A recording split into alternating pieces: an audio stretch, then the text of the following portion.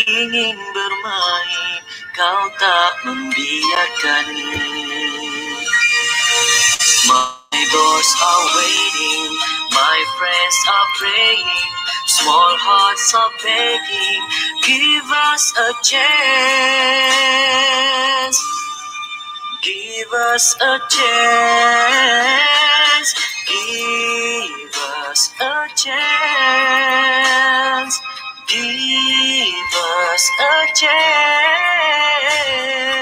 Give us a chance. Please, please, give us a chance.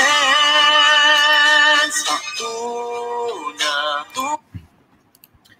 Assalamualaikum warahmatullahi wabarakatuh. Salam sejahtera, selamat uh, pagi. Bismillahirrahmanirrahim. Alhamdulillah rabbil alamin. Wassalatu wassalamu ala asyrafil anbiya wal mursalin wa ala alihi wa sahbihi ajma'in. Uh, syukur kita pada Allah Subhanahu wa taala kerana dengan limpah izin dan perkenannya jua kita dapat bersama-sama pada pagi hari ini di 5 Julai 2021 insyaallah uh, kita akan bersama di dalam uh, Cognitive Mindfulness uh, Coaching Series siri yang ke-32 ya. Di uh, sebelum kita bermula pada pagi ini ada baiknya kita mulakan uh, dengan bacaan nombor kitab Al-Fatihah. Alhamdulillah.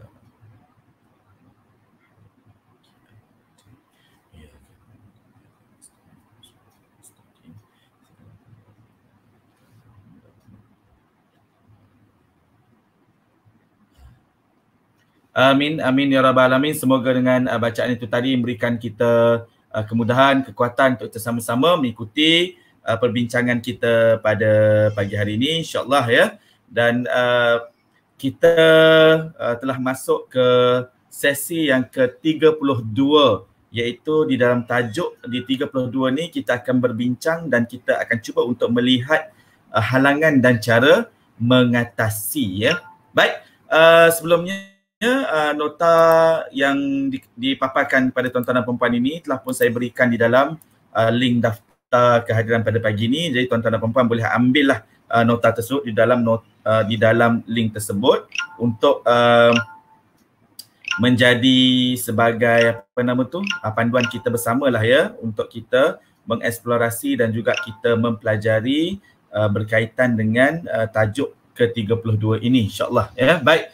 Uh, di Zoom. Uh, selamat selamat datang pada rakan-rakan semua. Mungkin ada yang lama dan juga uh, kalau yang lama ni mohon maaf lah ya beberapa hari ni kita uh, macam tak dapat bersua kerana ada beberapa kekangan lah ya. Jadi insyaAllah hari ini kita memulakan kembali ya sebab kita ada kelas-kelas yang lain yang terpaksa kita beri laluan. Jadi uh, itulah sebabnya uh, apa nama kita tak dapat bersua untuk beberapa ketika lah ya. Jadi tapi apa-apa pun insyaAllah uh, untuk masa-masa yang ada ni kita sama-sama memanfaatkan dan sama-sama kita gunakan ruang dan peluang ni untuk kita uh, dapat at least uh, belajar dan juga kita dapat berkongsi bersama ya. Jadi insyaAllah baik uh, yang tak dengar saya tak pasti pula uh, apa sebabnya. Saya rasa uh, yang lain dapat mendengar kan. Um, mungkin uh, penggunaan handphone kot ya. Kalau tuan-tuan dan perempuan guna handphone di Zoom, pastikan uh, apa nama di ruang uh, gambar yang ada headphone tu dimatikan uh, supaya uh, dia boleh tuan-tuan dan perempuan boleh mendengar ya. Jadi insyaallah kita meneruskan untuk sesi kita pada hari ini. Uh, bagi yang baru mungkin pertama kali ikut uh, sesi coaching ni, so tuan-tuan dan perempuan telah terlepas 31 siri yang lalu. Don't worry, siri yang tu ada di dalam uh, YouTube ya di uh, channel uh, kaunselor anda. So pastikan uh, tuan-tuan dan perempuan uh, boleh lihat ke sana lah ya. Dan uh, bila uh, cognitive mindfulness uh, coaching series ni siri ni dia bermula daripada siri satu. Dan siri ini dia berentetan sebenarnya. Jadi ketika tuan-tuan dan perempuan ikuti siri yang ke-32 uh, boleh-boleh saja di siri ke-32 uh, dan nanti kita apa nama tu kita berikan juga lah ruang dan peluang untuk tuan-tuan dan perempuan mengikuti daripada siri satu. Barulah akan nampak perkembangan-perkembangan ya. Sebab ini adalah siri-siri yang terakhir dah ya. 32 dan dalam coaching uh, cognitive mindfulness coaching series ni kita ada 35 siri keseluruhannya. Dan ini 32 dan dah kita nak masuk dah siri-siri yang terakhir ya. Jadi insyaallah kita sama-sama uh, berkongsi dan nanti uh, nantikanlah ya uh, when habis semua siri 35 siri ni insyaallah uh, akan terbit satu uh, buku lah ya buku uh, yang saya tuliskan keseluruhan 35 siri ni uh, untuk tuan-tuan dan puan sebagai uh, apa nama tu uh, hadiah ya. Uh, hati hadiah tu kena belilah ya insyaallah. Baik uh, apa-apa pun uh, kita teruskan ke hari ini untuk kita melihat ya di dalam sebelum ni di sesi yang ke-31 kita berbincang berkaitan dengan um, nilai kan? Okey kita berbincang berkaitan dengan uh, apakah yang kita uh, lihat dalam do, nilai domain hidup ya? So kita ada dalam domain hidup ni kita ada banyak domain kehidupan. Dan apakah nilai-nilai tersebut? Nilai ni tujuan nilai adalah untuk memandu kita menggerakkan diri kita mencapai kita punya set goal ataupun objektif. Okay, uh, bila kita kata objektif ni, kita tak nak kita tak katakan objektif yang uh, merancang, contohnya merancang sesuatu matlamat itu ya, tetapi dalam kehidupan kita ni nak jadi baik sentiasa hari ni lebih baik daripada semalam dan esok lebih baik daripada hari ni insyaallah kalau panjang umur kan. Okay, Uh, so kita kena ada juga set kita. Kita kena tahu apa yang kita matlamatkan untuk hari esok. Se- kita anggaplah uh, semoga-moga besok kita masih ada. So apa yang kita nak capai hari esok. So untuk capai hari esok, kita mesti melihat kepada nilai yang kita pegang. Okay. Dan kalau kita tengok hari esok, kita tengok juga nilai hari ini. Okay. Apakah nilai-nilai yang kita pegang as uh, diri kita dan diri kita ni banyak kita punya domain role. Kita as a macam kita adalah bapa kita ibu kita ni adalah anak kita ni adalah pelajar kita ni adalah pekerja dan banyak lagi domain-domain dalam kehidupan. Dan domain ni pula yang kita lihat yang lebih besar lagi kita akan tengok apa yang kita faham domain tentang diri sendiri domain tentang dunia domain tentang sosialisasi kita, domain tentang agama dan juga ketuhanan. So apa nilai-nilai yang kita berikan kepada eh, setiap domain ni? Kerana domain inilah yang akan membawa kita untuk merentasi matlamat kita. Okay, setiap goal kita tu. Kita nak jadi baik. Kita memang cita-cita semua orang. Saya yakin dan percaya semua orang yang ada kat sini semua bercita-cita nak jadi baik daripada semalam. Tetapi apakah uh, nilai kita cukup kuat untuk menyatakan bahawa kita ni berupaya dan kita ni ada kemampuan-kemampuan okay, untuk kita melepasi matlamat-matlamat tertentu yang kita tetapkan. Contohnya kita kata kita nak jadi baik hari ini tapi kita punya nilai aku ni tak bagus lah, aku ni uh, bukan seseorang yang berani, aku ni seorang yang pecundang contohnya. Jadi ni nilai itu kita dah pegang. Kita set satu matlamat untuk jadi lebih baik hari esok ataupun lebih baik hari ini. Agak-agak kita buat ke tak buat? Okay. Ha, so dia menjadi kepayahan lah ya. Kerana nilai itu tidak menyokong. So nilai ni adalah kepercayaan kita yang paling dalam ke dalam diri setiap kita ya. Sebab tu kita eksplorasi kepada nilai untuk setiap domain ya. Tu di 31 dan ketika kita telah nampak nilai dan kita tahu dah nilai kita dan kita tahu matlamat kita, jelas matlamat kita dan jelas juga nilai kita tetapi ada lagi yang akan menghalang kita untuk bergerak. Tak percaya? Cuba tengok kita semua ya. Kita semua ni uh, kita semua pasti everyday tu cuba untuk menjadi lebih baik lagi lebih baik lagi dan lebih baik lagi dalam kehidupan. Tapi perancangan tu dah ada dah. Dah yakin dah. Dah set dah ni. Contohlah kita mungkin yang muslim kan kita dah buat solat hajat dah solat istikharah dah dah macam-macam dah. Solat taubat lah macam-macam kita dah buat malam tadi. Sampai ke hari ni pagi-pagi tadi uh, konon ni pagi tadi tu kita dah mula dah. Tak nak dah tidur pagi ni waktu-waktu PKP macam ini kan uh, kita tak ada drive sangat untuk pergi bekerja contohnya. Jadi kita pun me- lewatkan sebab kerja masuk pukul 8 jadi pukul 6 ada 2 jam. Jadi kita fikir oh 2 jam. 2 jamnya ada masa ni untuk exercise contohnya. Kita dah semangat ni exercise kan? Uh, untuk mengurangkan berat badan kita okay tapi bangun pagi ni kita dah merancang semalam dah. Kita dah ada nilai dah. Aku ni boleh aku ni yakin boleh kan? Tapi pagi pagi ni bila bangun dia alah besok lah. Uh, okay so apa yang menyebabkan jadinya esoklah? Ha, esoklah, esok lagi kan. Lama-lama tak adalah buatnya. Okey. Kerana ada satu lagi halangan ke dalam diri kita dan halangan terbesar tu bukan halangan yang ada pada luaran tetapi halangan terbesar adalah halangan yang ada dalam diri kita. So hari ni kita nak explore sedikit sebanyak uh, tentang halangan yang ada dalam diri kita ya. So dalam konsep kognitif ni lah ya, kita nak berbincang dalam konsep kognitif ya. So, ha, inilah dia. Uh, when kita boleh refer ke slide ya, uh, kita dah start ni, okay? Dan kita nak pergi kepada sukses sukses kita punya kejayaan, nak capai kita punya matlamat. Tetapi di tengah ni ada obstacle di tengah ini, okay? So kita perlu atasi yang di tengah ni supaya kita boleh gerak ke depan. Tetapi kalau kita tak atasi obstacle ni, kita tak bergerak ke hadapan. Dan bila kita kata obstacle, okay, kita seringkali nampak obstacle di luaran. Okay. Banyak kita semua akan nampak obstacle di luaran. Contohnya, eh orang ni tak tolong saya lah. Eh uh, pasangan saya tak kejutkan saya awal pagi ni. Eh saya bangun lambat hari ni. Eh ah, banyak eh dia kan. Okay. Uh, semua adalah luaran. Tetapi kita tak nampak ada lagi obstacle yang lebih besar daripada itu adalah obstacle di dalam diri kita. So kita nak, cuba mengeksplorasi obstacle yang ada dalam diri kita ya. So obstacle paling besar dalam diri kita adalah kita punya belief.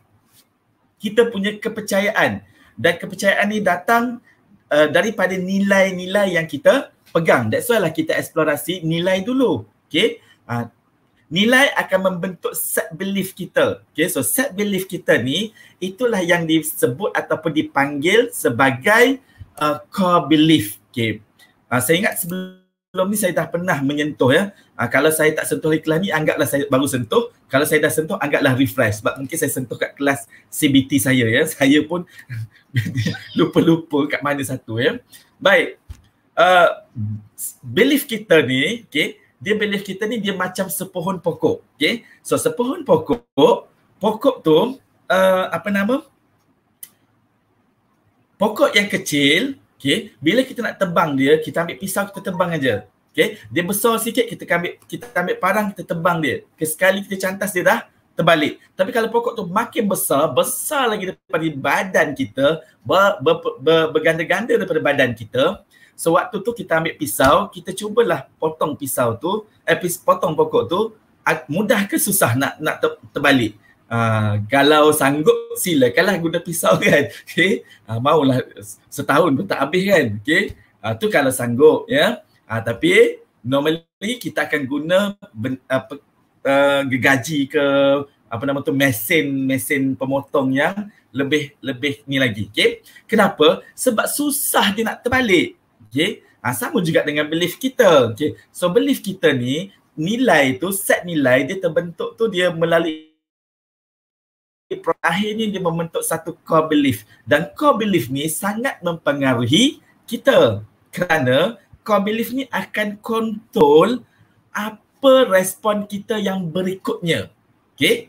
Ha, maklumat-maklumat yang baru datang ke, katalah orang bagi kita info baru, maklumat baru, gosip baru kan kalau core belief kita kata kita kuat kepercayaan kita, datanglah gosip macam mana pun, kita tak akan mudah untuk terima dia. Kita tak akan mudah untuk ambil tu sebagai sesuatu yang kita katakan benar untuk diri kita.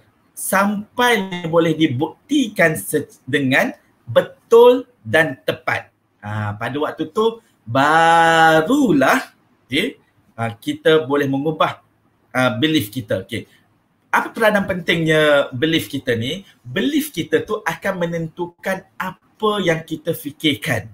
Okay? So when dia menentukan apa yang kita fikirkan, itu akan menentukan apakah tindakan kita. Kalau belief kita ni mendokong kita ke arah yang baik, dia akan membuatkan pemikiran kita menyokong ke arah yang baik. So pemikiran kita akan bagi signal kepada uh, apa nama tubuh badan kita untuk bertindak secara okay, dan nanti akan menghasilkan apa nama tu uh, suatu hasil yang juga baik. Contoh kita kata okey, kita ni nak nak uh, menjadi lebih baik hari ini. So baik hari ini adalah kita percaya kita mempunyai semangat yang baru untuk exercise pagi ni. Okay. So, kita dah ada belief tu. So, belief tu akan bagi tahu kepada otak kita bahawa hai otak, uh, tuan uh, tuan awak ni dia sangat uh, confident dan dia sem- sangat semangat untuk bangun pagi ni. Okay. Kerana dia nak lebih sihat contohnya. So apa apa dia buat? Okay, pagi pagi tadi mungkin memanglah kita mungkin tidur lewat ke ataupun adalah perkara-perkara yang selalu kita ni kan dan kita pun drive pagi memang tak ada drive because of kita duduk kat rumah tak ada kerja sangat kan. Okay? Tapi kerana kita dah beri satu signal belief baru ke dalam diri kita bahawa kita nak sihat dan sihat itu adalah penting untuk kita jadi kita akan bangun awal. Okay. Lepas subuh tu tak tidur lagi. So terus untuk uh, mungkin mengaji sikit ke apa kan. Lepas tu kita dah mula untuk keluar untuk exercise. So tindakan kita adalah exercise dan hasil kita kita berjaya melalui exercise pagi ini. So itu akan menguatkan belief kita. Okay, exercise ni macam mana? Exercise ni, oh baguslah. Memang menyihatkan. So dia akan bagi lagi set belief. Okay, besok bangun lagi awal pagi. So dia akan sentiasa ada. Tapi kalau kita bangun pagi, dah bangun dah. Action kita pun dah bagus lah kan. Tapi dia punya hasil tu, uh, terplay out ke terseliuh ke alah penat lah kalau macam ni kan. Uh, exercise. So apa dia bagi signal pada belief? Uh, belief tu akan percaya bahawa oh exercise ni tak semua seronok. Okay uh, so besok dia akan jadilah tak seronok balik semula. So dia adalah cycle yang uh, berulang sebegitu ya. Yeah?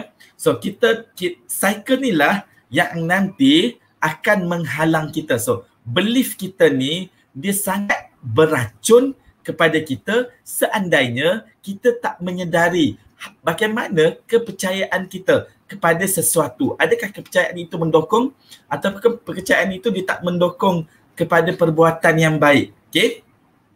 Alright. Silakan ya. Baik. Saya teruskan dulu. Okay. Uh, for uh, most common limiting belief. Okay. So dalam belief, dia disebut limiting belief kepercayaan-kepercayaan yang menghadkan kita. Kepercayaan-kepercayaan yang tidak mendokong kita lah untuk kita berkembang. Siapa ada? Uh, I can do it. I am not capable. Itu biasa kita sebut. Okay? Uh, kadang-kadang kita rasa dah dah boleh dah. Okay? Kita dah kita semangat ni kan. Motivasi kita kuat. Tapi bila kita nak buat je, tak buat. Kenapa? Sebab dia ada limiting belief. Okay? I can do it. Ataupun kalaulah uh, saya nak buat I don't have enough. Okay? Enough apa? Uh, enough kemahiran lah, enough kemampuan lah, enough macam-macam lah kan. That's why kita tak buat. Okay? Uh, contoh kita nak exercise kan, kita nak exercise ni. Uh, lepas tu, alah, nanti orang tengok aku aku exercise macam mana ya. Malulah. Uh, nanti jiran-jiran tanya, tanya lalu kat sini, eh uh, exercise, ha, contohlah macam tu kan. Uh, malulah nanti orang cakap aku exercise ataupun kita exercise. Uh, kita berlari lah contohnya nak jogging kan. Aku ni jogging baru dia jogging dua tiga, dua tiga tapak dah semput-semput ni. Nanti orang lalu eh eh dah semput. Ha, so kita dah fikir dah. Belum lagi kita buat tapi kita dah fikir dah uh, benda-benda yang itu. So kita rasa I don't have enough. Perkara-perkara berikutnya. I am not so enough. Okay uh, pretty ke smart ke fit ke apalah yang ada pada diri kita. I don't want people to think I'm uh, biasanya dia tak nak orang fikir yang dia ni tak bagus. Okay, kita semua tak pernah tak nak orang fikir kita ni tak bagus. Kita sentiasa nak tunjukkan kita bagus. So bila nak tunjuk kita bagus, bila bagusnya? Ha, itu persoalan besar. Bila bagusnya? Ha, tak tahu bila bagusnya. Ha, that's why lah kita tak pernah memulakan. Kita tak pernah untuk uh, apa nama tu uh, ada keyakinan untuk laksanakan okey uh, sebab ada peribahasa kata kan kalau kita tak pernah memulakan langkah pertama macam nak melangkah ke langkah kedua ketiga keempat so kita nak langkah yang seribu tapi kita tak pernah langkah kali pertama. Agak-agak dapat tak kita pergi yang kat seribu sana? Pastilah tak pergi. So kita mesti lihat ke dalam diri kita dulu. So uh, apa nama ke ke halangan-halangan paling besar yang ada pada diri manusia adalah dirinya sendiri yang disebut sebagai limiting belief. Ha, yang ni kalau tuan-tuan dan perempuan uh, ikut saya dalam kelas CBT course kita, tuan-tuan dan perempuan akan pelajari lebih dalam lagi, lebih intens lagi lah tentang uh, apa yang disebut limiting belief, apa yang disebut sebagai core belief ya. Alright.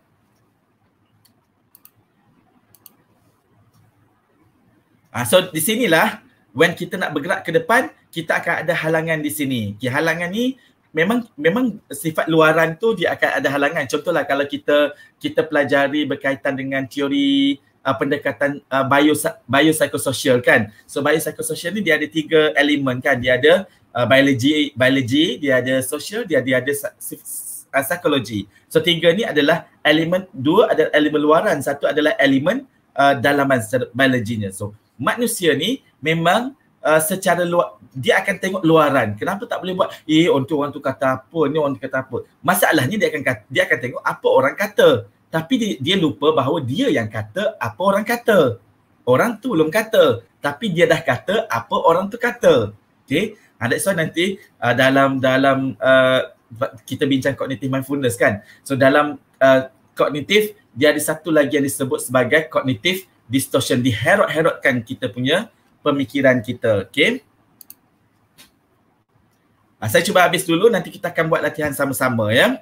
Formula to achieve uh, goals dia ada motivation. Motivation tu goal tu mesti ada value. Uh, that's why kita bincangkan sebelum ni dia setiap goal tu mesti direntasi oleh value. So kita kena tengoklah value kita ni. So kita kena duduk renung balik Okay, kaji balik kita punya value kita. Okay, so value kita ni adakah dia mendokong kita dalam bentuk perbuatannya? So value akan sentiasa mendokong kita di dalam pemikiran. Tetapi dari segi perbuatan, apakah ia mendokong kita? Contohlah value macam ni. Saya rasa saya adalah orang yang uh, hebat contohnya. Okay, hebat dia secara perbuatannya adalah dia marah-marah orang, dia rasa dia dia yang terbaik, dia paling bagus kan. Okay.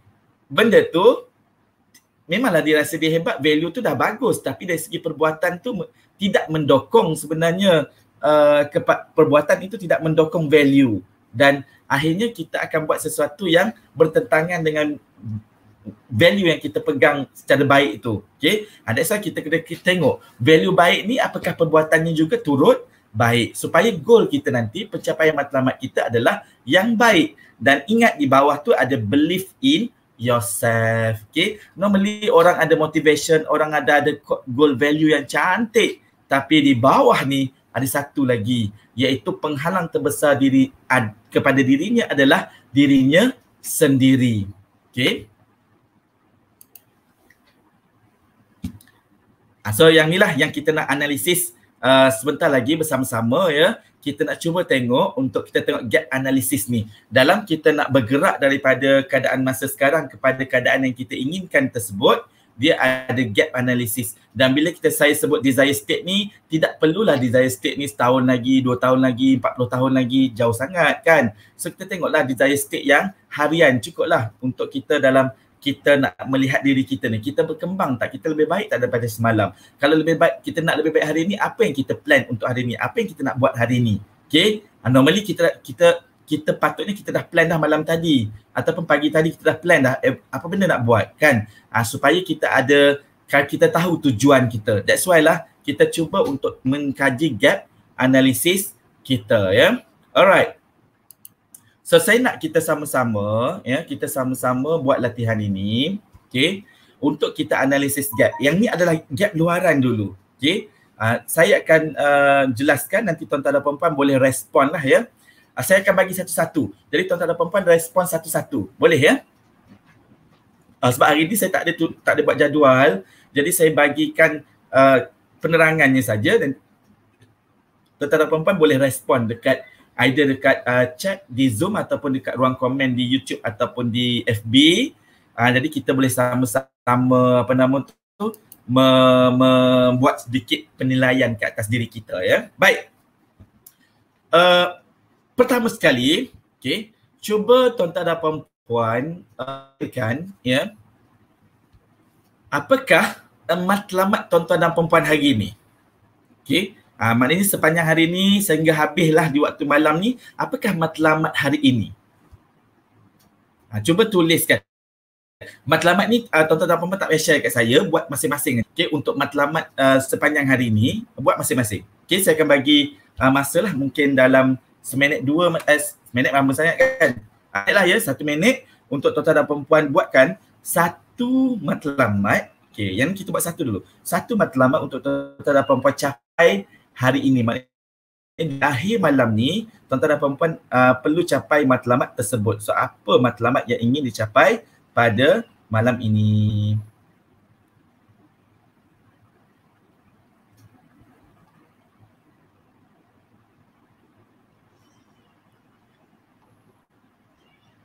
Okay, nanti kalau ada yang uh, dah siap, uh, tuliskan sudah ya.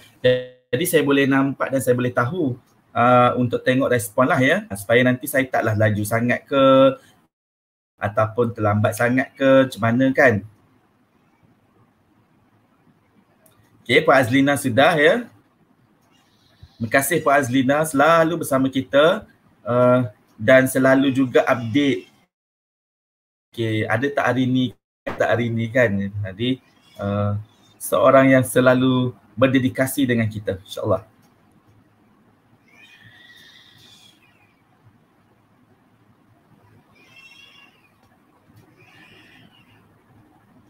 Alright, okay. Kalau dah sudah, okay. Now kita dah nampak kita punya matlamat dan tengok dalam matlamat kita tu apakah ada nilai dalam matlamat tu. Okay. Cuba tengok masing-masing kita matlamat yang kita nak capai hari ni. Okay. Ada tak nilai yang uh, yang yang dapat merentasi maknanya matlamat kita tu merentasi nilai kita so apa nilai kita kepada pencapaian matlamat kita ataupun nilai yang kita pegang dalam hidup satu cukuplah nilai yang kita pegang dalam hidup kita ni untuk kita merentasi matlamat hari ni okay. ada tak nilai tu kalau ada tuan-tuan dan puan tulis ada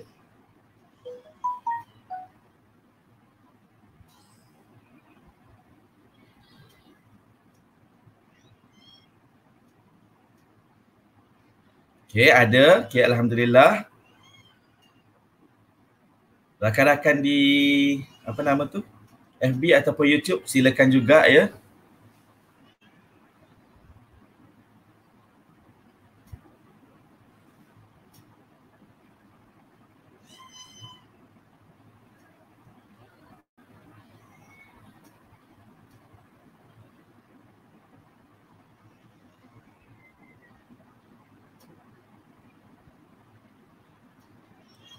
Okay, seterusnya apa yang saya nak suruh tuan-tuan dan puan-puan buat ialah okay, cuba tengok ya dalam uh, nak mencapai uh, matlamat kita yang sehari ini ada tak people? People ni adalah sumber ya. Dalam gap ni kita akan tengok sumber luaran dulu. Okay. Ada tak sumber yang dia, dia melibatkan orang lain? Uh, ada tak orang-orang yang kita perlukan untuk pencapaian matlamat kita hari ini? Kalau ada kita tulis siapa orang-orang tu. Okay, normally kita, sekarang kita kat rumah kita kan uh, mungkin kita kerja daripada rumah ke. Jadi kalau ad, ada tak orang-orang yang kita perlukan untuk pencapaian matlamat tu? Listkan uh, orang-orang tersebut. Nama dia lah. Kalau ada satu satulah. Kalau ada dua tulis dua. Kalau tiga tulis tiga okey? Uh, kalau ada banyak tak apa. Tulis dia banyak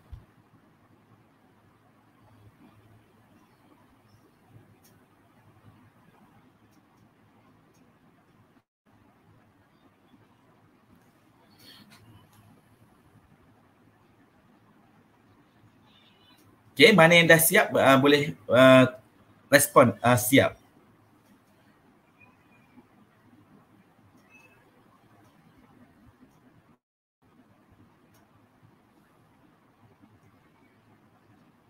Uh, okay, okay. Baik, terima kasih. Uh, kalau respon uh, nama orang tu pun boleh kat sini, tak ada masalah. Ya, tuan-tuan dan perempuan je yang tahu kan. Okay, uh, okay. klien rakan sekerja, baik. InsyaAllah.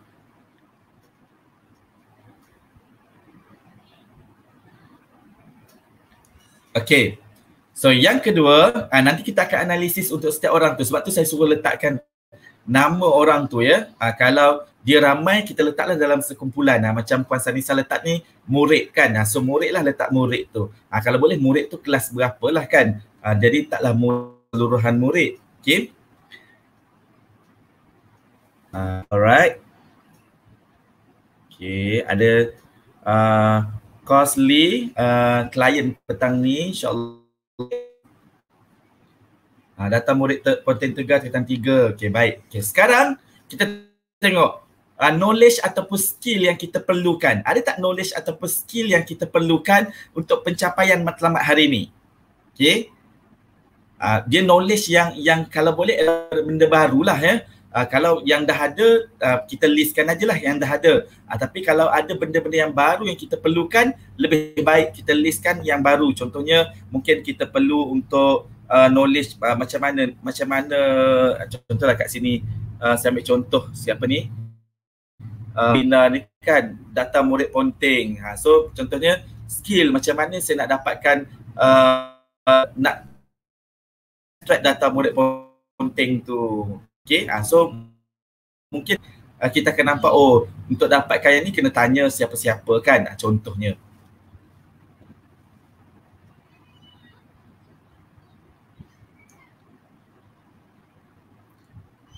Kemudian cuba tengok uh, kita punya matlamat seterus uh, dalam uh, sumber seterusnya untuk pencapaian matlamat kita ni apakah kita perlu teknologi-teknologi tertentu. Okey, kalau perlu kita catatkan. Ha, tambahlah sekarang macam macam apa? Macam uh, apa nama tu kita online ni kan. Ha, so teknologi sangat diperlukan ketika kita online ni. So teknologi apa yang kita perlukan? Okey. Uh, laptop baru ke? uh, laptop ke? uh, tab ke, uh, telefon ke, apalah ya, teknologi-teknologi yang diperlukan.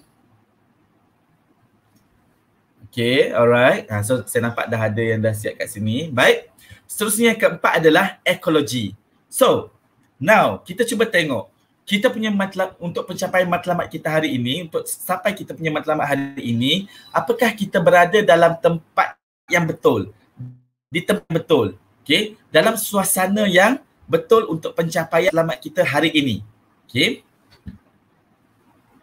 Ah, contoh uh, macam uh, macam mana nak sebut nama mana satu ni, Koli Nyobi. So saya nak panggil mana satu, okay. Ah, contohlah kata laptop dan internet yang stabil. So dari segi ekologi saya, teknologi dah ada.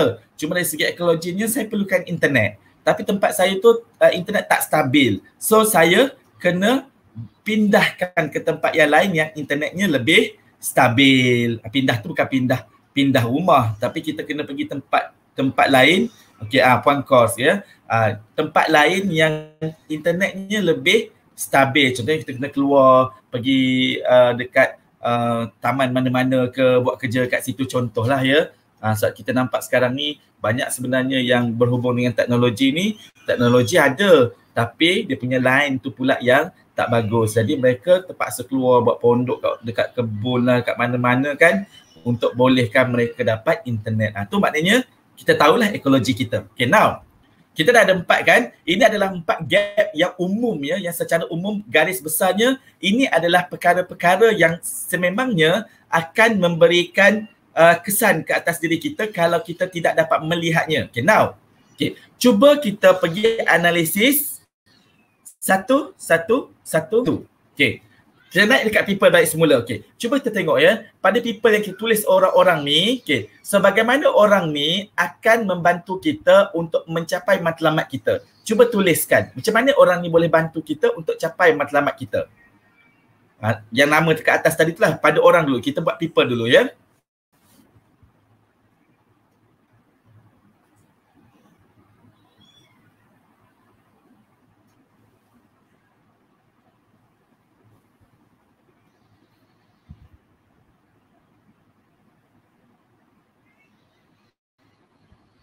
Ha, dia, yang ni dia kena sedikit analisis sedikit ya. Sedikit kena analisis sikit macam mana orang orang-orang ni dapat bantu kita dalam mencapai matlamat kita. Sebab kita ada matlamat hari ini. So macam mana orang-orang yang kita letak nama ni dapat membantu kita.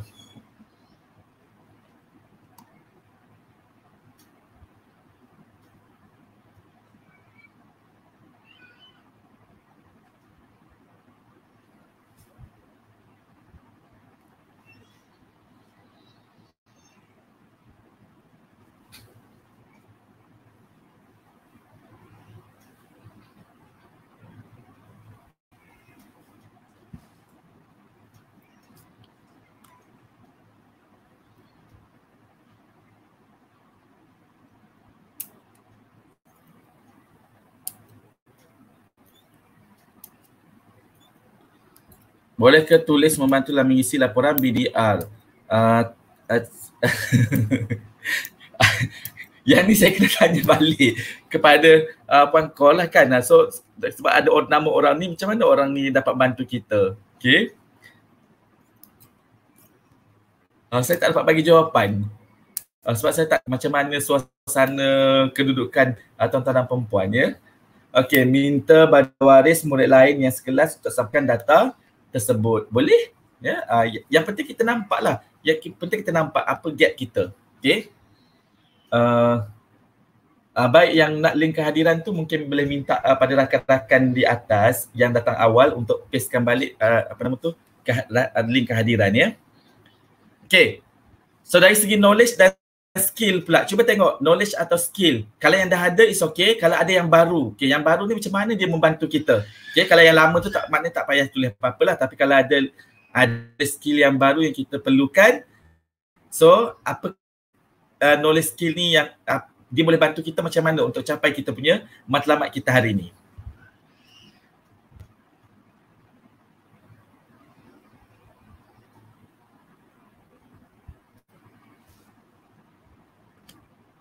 Okay, berikutnya adalah teknologi. Sama juga teknologi ni macam mana dia boleh membantu kita. Dan satu lagi adalah ekologi. So macam mana ekologi, secara ekologinya itu akan membantu kita mencapai matlamat kita. So list kan. Okay. Uh, dia punya baik buruknya macam mana keadaan dia tu kan. Uh, so cuba listkan ya. Saya nak uh, saya, saya minta uh, dua minit. Saya nak pergi toilet sekejap. Jadi dalam masa dua minit ni tuan-tuan dan perempuan boleh terus respon. Nanti kita saya akan tengok sama-sama ya.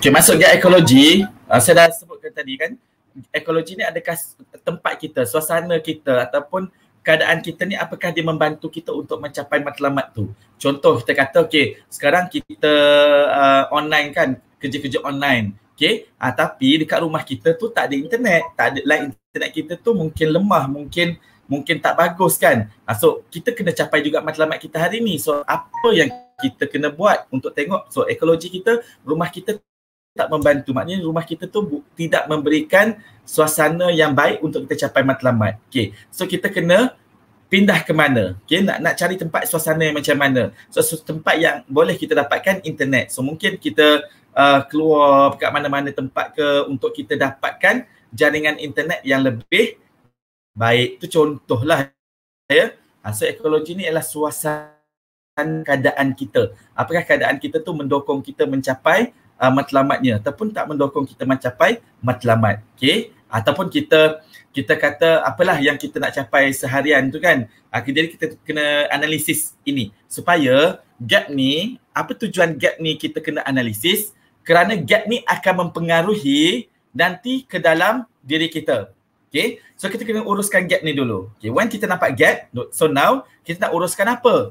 Okay, uh, mostly uh, tuan-tuan dan perempuan uh, tuan-tuan dan perempuan punya gap yang tuan-tuan dan perempuan dah tulis ni, apakah tuan-tuan dan perempuan nampak sesuatu daripada latihan gap ni? Nampak sesuatu yang yang kita boleh tambah baik untuk kita capai kita punya matlamat kita hari ni?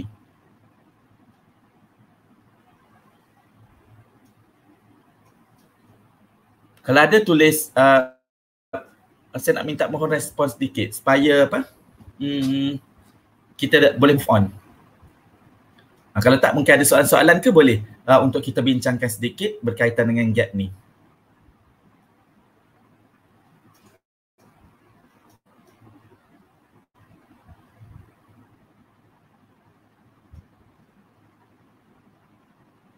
Okey Pak uh, ah, Tuan Ramlan nampak. Okey.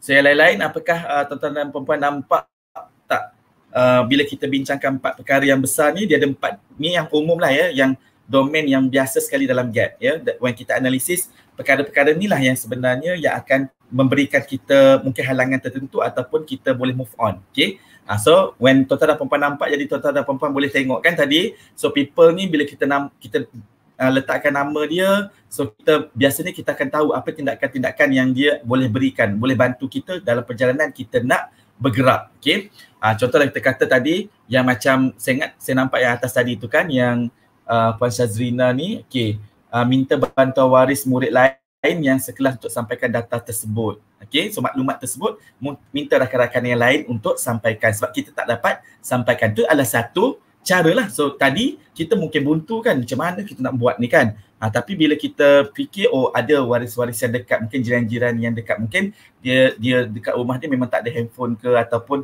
susah nak dihubungi ke. Jadi ada jiran-jiran yang kita boleh minta bantuan mereka untuk uh, uh, apa untuk uh, untuk membantu kita. Okay, boleh Lina uh, bisa sedikit sulit.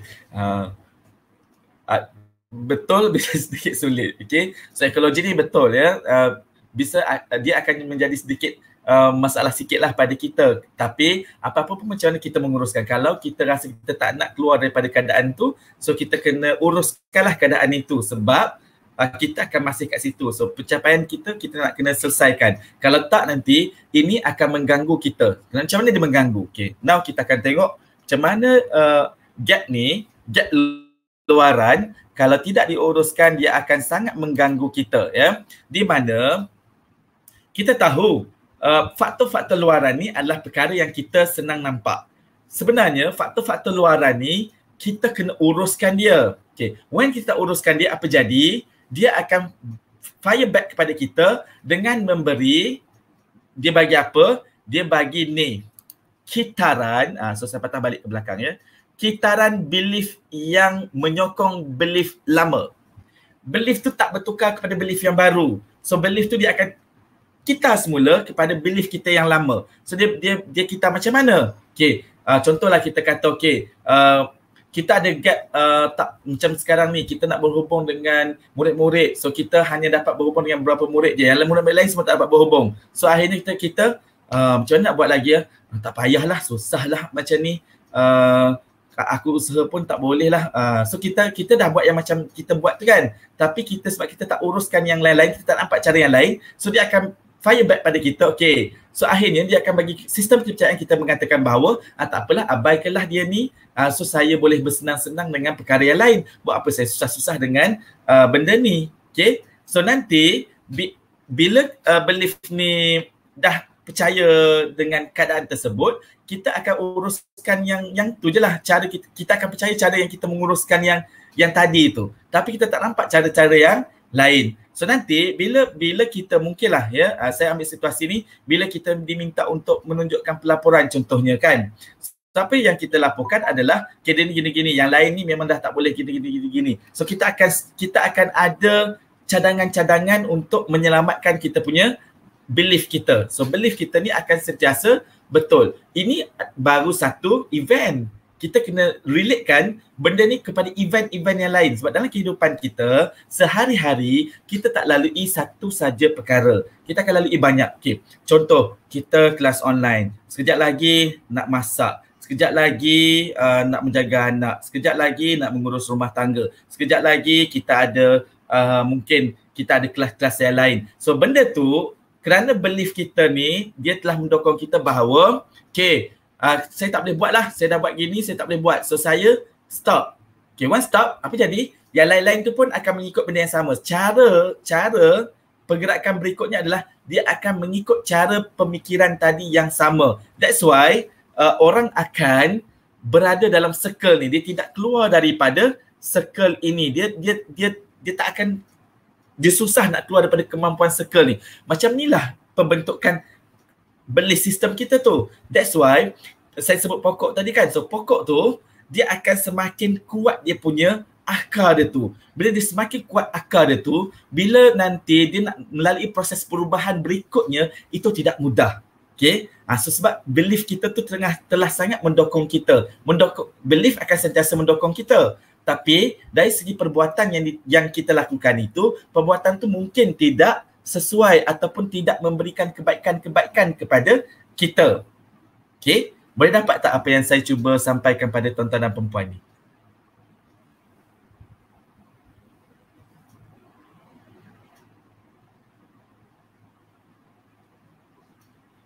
Okay. Tuan-tuan dan perempuan boleh boleh uh, cap, capai tak apa yang saya sebut ni? Saya risau. Okay.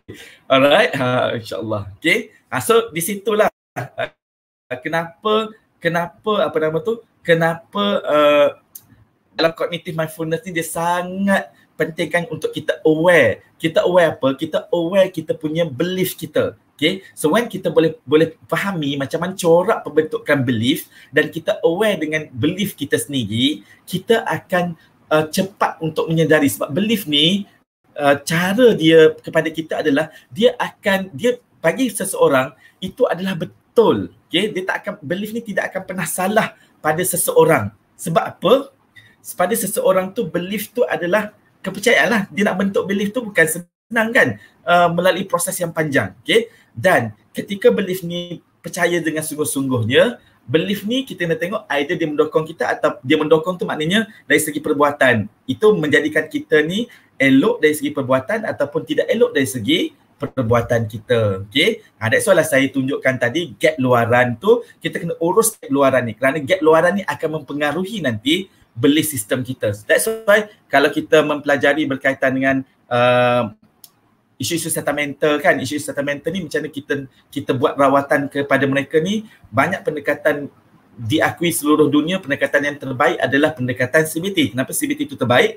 Kerana dalam CBT ni membawa kita untuk memahami bagaimana corak pemikiran terbentuk dan bagaimana nanti sekiranya perkara luaran itu tidak diuruskan ianya akan mempengaruhi sangat kepada uh, pemikiran orang seseorang tersebut. Sehingga ianya akan me, me, me, membentuk belief yang sama ada belief yang lama tu semakin dikuatkan ataupun dia ada belief baru yang boleh mencabar belief lama sehingga belief baru ni dia akan bertindak dengan cara-cara yang lebih baru rather than berpegang kepada belief yang lama ya.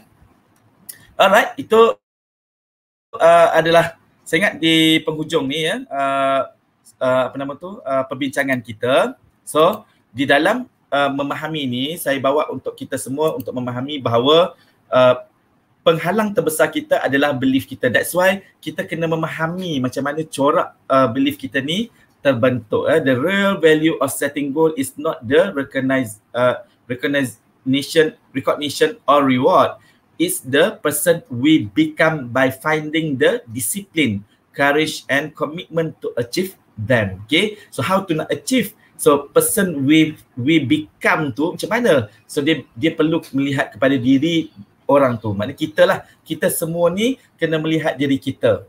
Okay, yang sifat yang luaran ni, luaran ni dia akan mempengaruhi kita. Sekiranya tujuan cara kita adalah kita kena uruskan yang luaran ni. Okay, Ha, so kalau yang luaran ni kita macam mana kita menguruskan itu akan mempengaruhi cara kita berfikir dan cara kita bertindak kemudian. Sebab nanti yang bertindak adalah kita, yang berfikir adalah kita, yang berperasaan adalah kita. So kita yang nak kena laksanakan perkara berikutnya.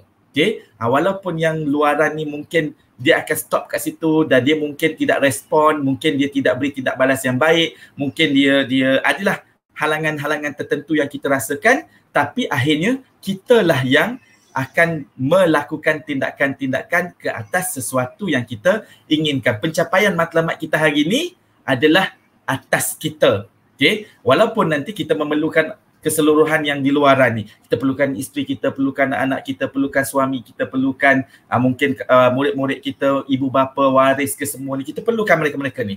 Tapi kalau mereka tak respon, apakah kita membatalkan kita punya niat untuk gerak? Ha, kalau kita batalkan niat untuk gerak, kita kita tak ada apa-apa lah ya. Maknanya kita tak capai apa yang kita inginkan. So apa pun yang berlaku dekat luaran ni, kerja kita adalah kita perlu menguruskan. So how tu kita nak menguruskan yang ibu bapa tak respon, uh, mungkin suami tak respon ataupun uh, anak-anak respon secara bukan seperti mana yang kita mahukan. So how tu kita nak menguruskan. Uh, that's why kita kena faham di, ini adalah gapnya. So gap ni kita kena uruskan supaya kita punya apa nama tu uh, kognitif kita ataupun mindset kita ni akan menjadi lebih baik untuk kita uh, apa nama tu kita punya uh, core belief ni akan sentiasa kita faham adalah kita mindful kepada core belief kita. Kita kena sentiasa sedar apa nilai yang kita pegang dan kita sedar apa uh, kepercayaan-kepercayaan kukuh yang kita pegang untuk diri kita semua ya. Jadi insyaAllah saya ingat sampai sini apakah ada soalan daripada rakan-rakan uh, semua? Okay, saya buka dalam seminit dua ni untuk uh, soalan. Sebab lepas ni kita ada satu lagi kelas. Biasa kelas tu di awal pukul 10 ya. Uh, tapi kelas ni kita bawa ke 12 sebab ustaz uh, dia ada urusan pukul 10 jadi kita bawa ke pukul 12.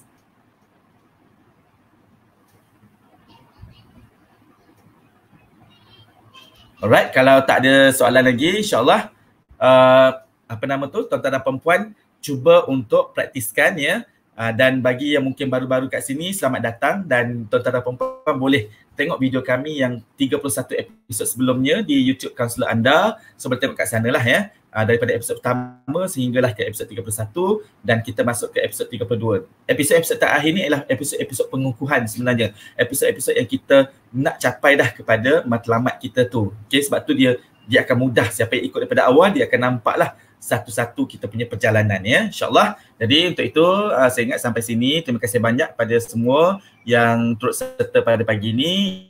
Insyaallah kita jumpa besok untuk kita melihat lagi di segmen yang ke-33 uh, berkaitan dengan uh, mindfulness coaching ni insyaallah. Untuk itu sekian dahulu. Terima kasih banyak. Assalamualaikum warahmatullahi wabarakatuh. Salam sejahtera. Uh, selamat istirahat buat semua. Jumpa lagi uh, besok